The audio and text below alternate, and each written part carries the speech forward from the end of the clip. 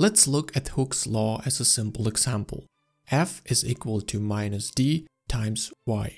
This law describes the restoring force F on a mass attached to a spring. The mass experiences this force when you displace it by the distance y from the equilibrium position. d is a constant coefficient that describes how hard it is to stretch or compress the spring. The mass m of the ball attached to the spring is hidden in the force, we can write the force according to Newton's third law as m times a. a is the acceleration that the mass experiences when it is displaced by the distance y from its rest position. As soon as you pull on the mass and release it, the spring will start swinging back and forth. Without friction as in this case, it will never stop swinging. While the mass oscillates, the displacement y changes. The displacement is therefore dependent on the time t.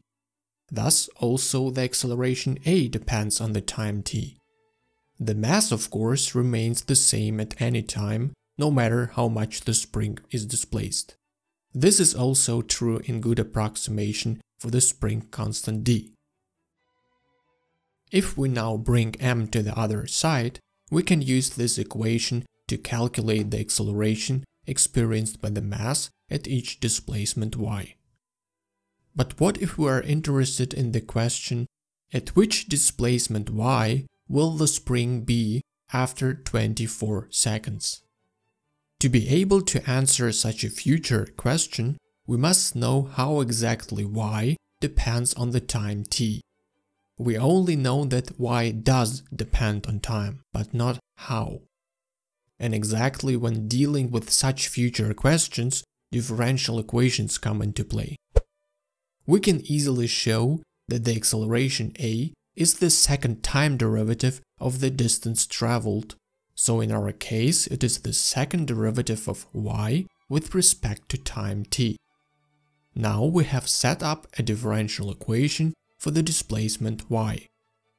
You can recognize a differential equation in short dq, by the fact that in addition to the searched function y, it also contains derivatives of this function, like in this case the second derivative of y with respect to time t. A differential equation is an equation containing a searched function y and derivatives of this function. You will certainly encounter many notations of a differential equation, we have written down our differential equation in the so-called Leibniz notation. You will often encounter this notation in physics. We can also write it down a bit more compactly without mentioning the time dependence. If the function y depends only on the time t, then we can write down the time derivative even more compactly with the so-called Newton notation. One time derivative of y corresponds to one point above y. So if there is a second time derivative as in our case, there will be two points. Obviously, this notation is rather unsuitable if you want to consider the 10th derivative, for example. Another notation you are more likely to encounter in mathematics is the Lagrange notation. Here we use primes for the derivatives. So for the second derivative, 2 primes. In Lagrange notation, it should be clear from the context with respect to which variable the function is differentiated. If it is not clear, then you should write out explicitly on which variables y depends. Each notation has its advantages and disadvantages. However, remember that these are just different ways of writing down the same physics. Even rearranging and renaming does not change the physics under the hood of this differential equation. To answer our previous question at which displacement y will the spring be after 24 seconds, we must solve the post-differential equation. Solving a differential equation means that you have to find out how the function y you are looking for exactly depends on the variable t.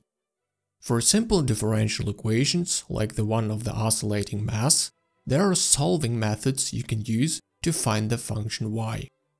Keep in mind, however, that there is no general recipe for how you can solve an arbitrary differential equation.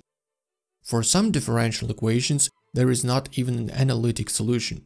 Here the word analytic means that you cannot write down a concrete equation for the function y. The only possibility in this case is to solve the differential equation on the computer numerically. Then the computer does not spit out a concrete formula, but data points which you can represent in a diagram and then analyze the behavior of the differential equation.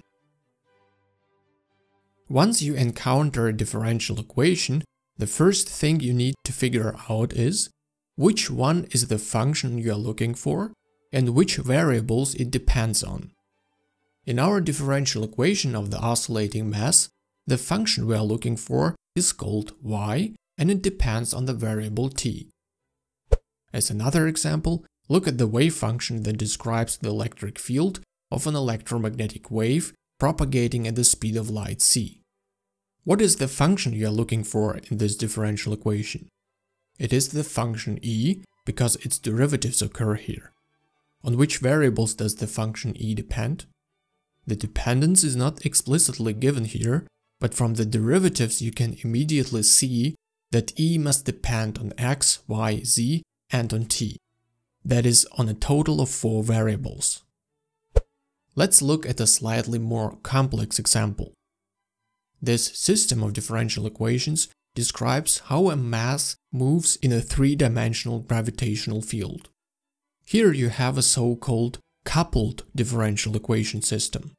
In this case, a single differential equation is not sufficient to describe the motion of a mass in the gravitational field. In fact, three functions are searched here, namely the trajectories x, y, and z, which determine a position of the mass in three-dimensional space. Each function describes the motion in one of the three spatial directions.